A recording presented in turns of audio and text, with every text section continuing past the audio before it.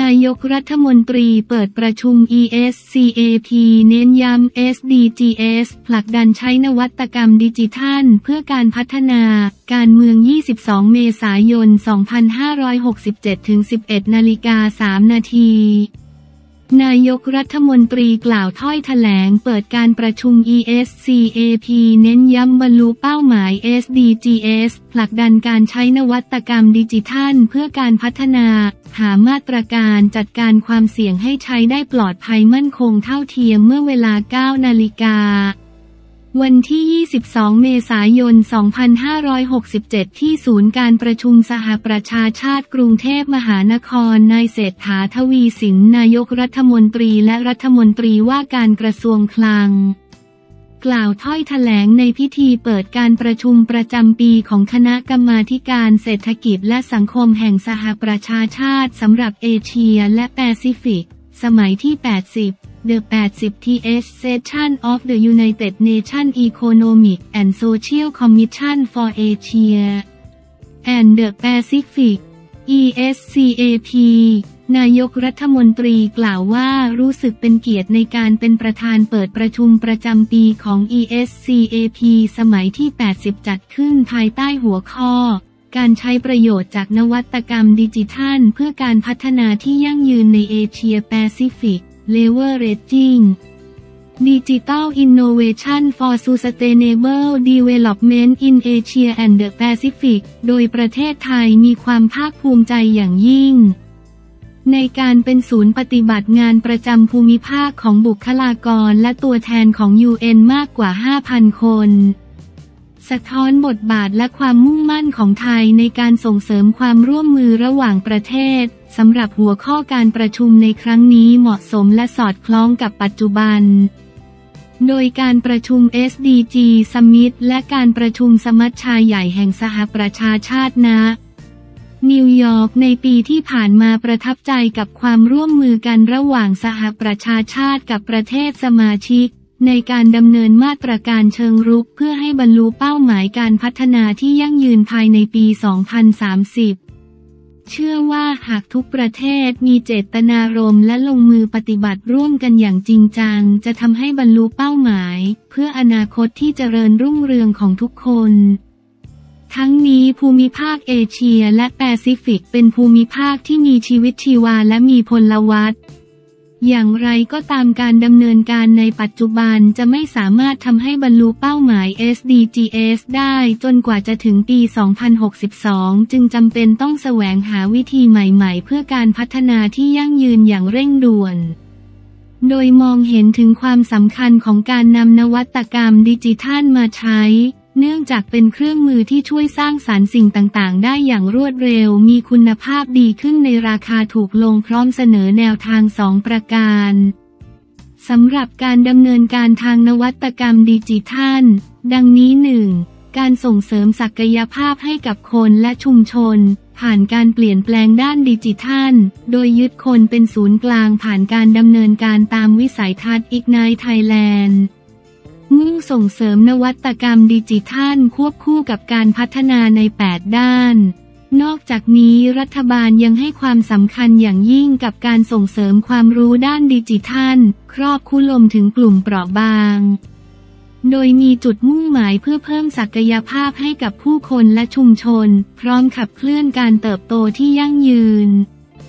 สำหรับประเทศเกษตรกรรมหลายแห่งในภูมิภาคเอเชียแปซิฟิก รวมถึงไทย การเปลี่ยนแปลงทางดิจิทัล ถือเป็นสิ่งสำคัญที่ส่งผลต่อความมั่นคงทางอาหาร จึงจำเป็นต้องใช้ประโยชน์จากเทคโนโลยีดิจิทัล เพื่อส่งเสริมนวัตกรรมทางการเกษตร สิ่งนี้จะพัฒนาไปสู่ระบบอาหารที่ยั่งยืน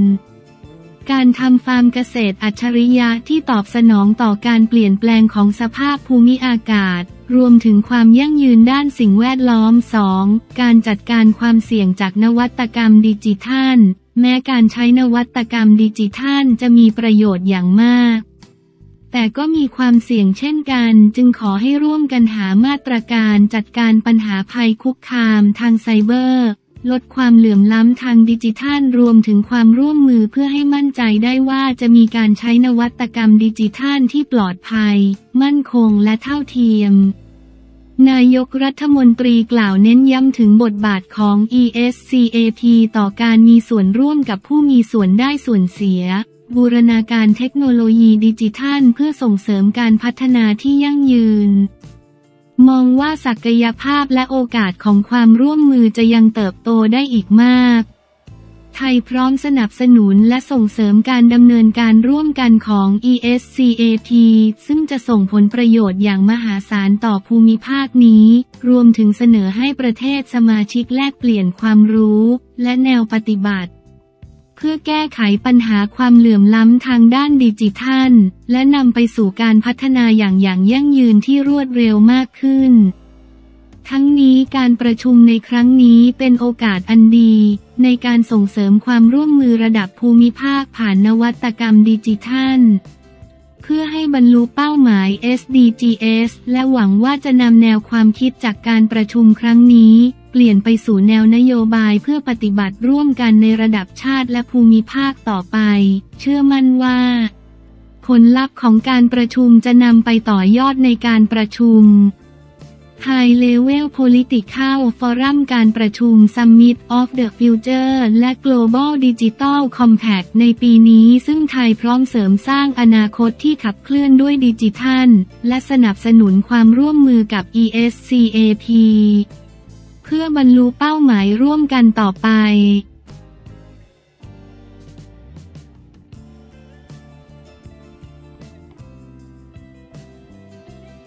หมอช้างเปิดราศีเบอร์หนึ่งปังทุกเรื่อง